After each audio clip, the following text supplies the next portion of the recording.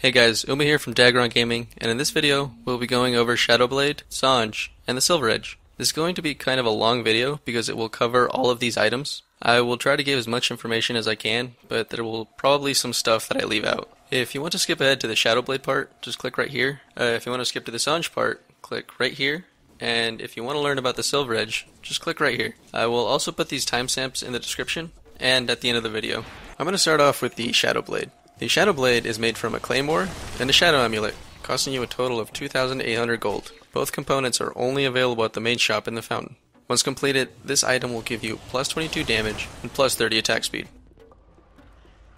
Shadow Blade also has an active ability called Shadow Walk. This ability costs 75 mana and has a 28 second cooldown.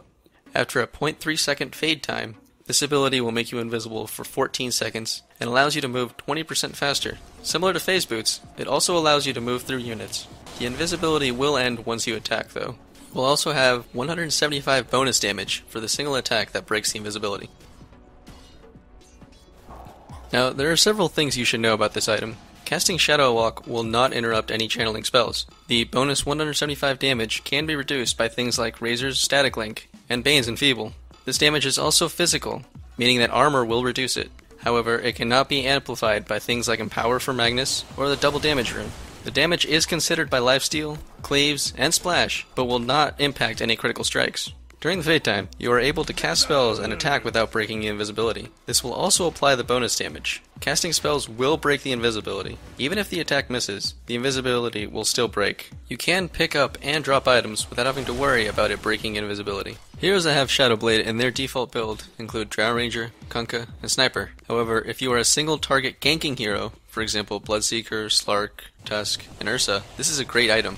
Heroes that either split push or require an escape, such as Nature's Prophet, can also get this item. An alternative to Shadow Blade is Blink Dagger. A Blink Dagger has a lower price and no mana cost, so it will allow you to gank just as efficiently. The Shadow Blade, however, will give you a boost in damage and stats. It is very important to remember that having this item will most likely lead to the enemy placing sentry wards and carrying Dust of Detection to stop you.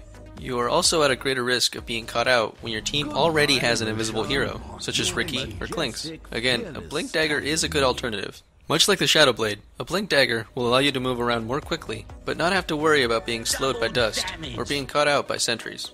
The second item in this video is the Sange. This item is built from an Ogre Club, a Belt of Strength, and a Sange recipe, costing you a total of 2,050 gold. The Belt of Strength may be bought from the side shops, but the Ogre Club and recipe must be bought at the fountain. Once completed, this item will give you plus 16 strength and plus 10 damage. If the hero is a strength hero, it would also grant an extra 16 damage for a total of 26 damage. Because this is a strength item, it will also add 304 health and 0.48 health regeneration. Sange grants your hero a passive ability called Lesser Maim. Lesser Maim will slow the enemy's movement by 20% and attack speed by 20 for 4 seconds, with a 15% chance to proc. Lesser Maim does not stack, but each proc will refresh the duration. Lesser Maim does stack with Maim from other items, though. Sange is one of those items that should always be turned into something else. Depending on the situation, this can be used to build a Heaven's Halberd, Silver Edge, or a Sange and Yasha. If you are building any of these and need a slow or the extra health and damage, this is a good starting component.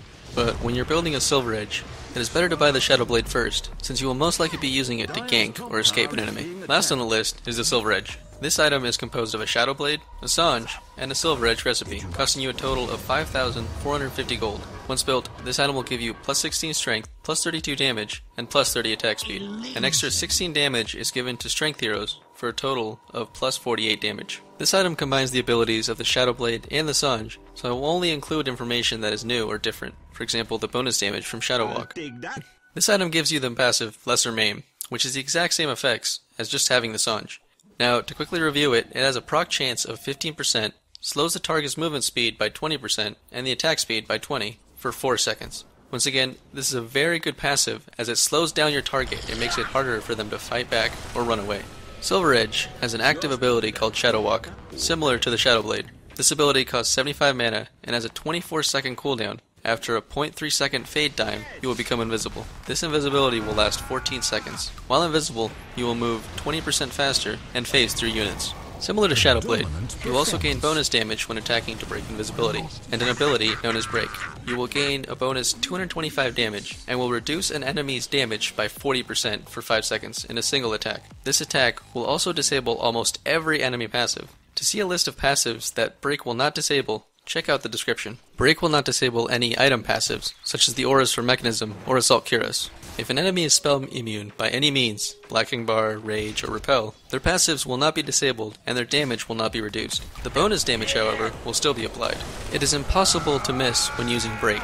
Even Void's Backtrack will not avoid the hit. This makes it a great way to deal with heroes like Phantom Assassin that have their own evasion. Remember that this will not stop item passives, so any evasion the hero receives from an item is still applied. Silver Edge is a great item for heroes that are single target gankers. The invisibility allows you to sneak up on an enemy, the break ability allows you to disable their passives and reduce their damage, and the lesser maim keeps them from running away or fighting back. Heroes like Slark, Bloodseeker, and Tusk all benefit from this. If you are playing against heroes with annoying passives, this is a great way to counter them. It is very important to remember that all items are situational. If you simply can't afford to buy a Silver Edge, buy something that increases farm instead.